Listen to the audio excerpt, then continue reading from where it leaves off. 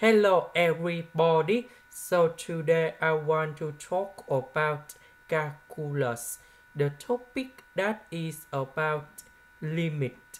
So now I want to show you how to answer. We have the formula in here. That is about a minus b multiplied by a plus b equals to a square minus b square and the second one that is about a minus b. Multiplied by a square plus ab plus b square equals to a to the power of 3 minus b to the power of 3 now for this one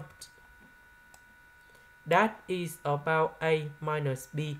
So we want to create about a square minus b square. So we need to multiply by a plus b on numerator and denominator. And that should be like this.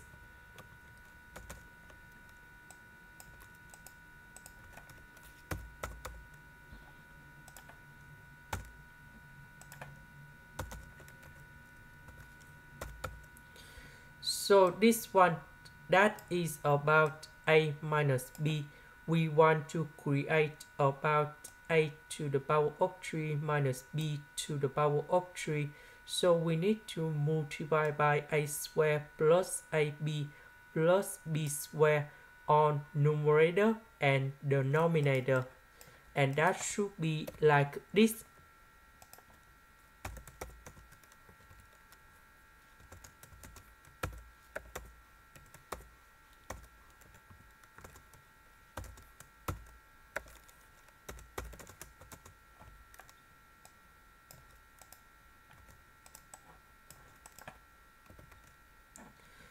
So this one in here that is about s square minus 16 to the power of 3 this one that is about s minus number 8 to the power of 2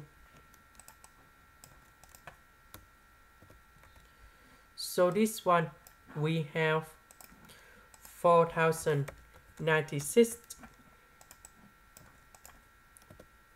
and this what we have 64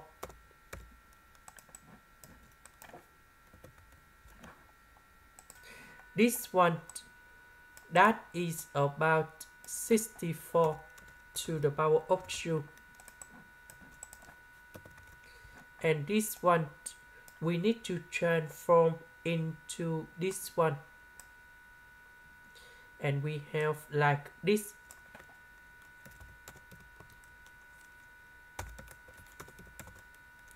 Next, we need to simplify s minus number 64 on numerator and denominator.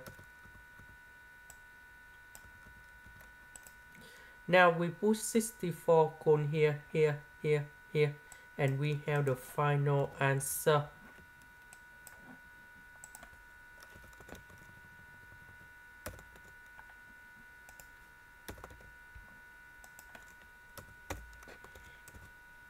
Now we calculate about this one and we have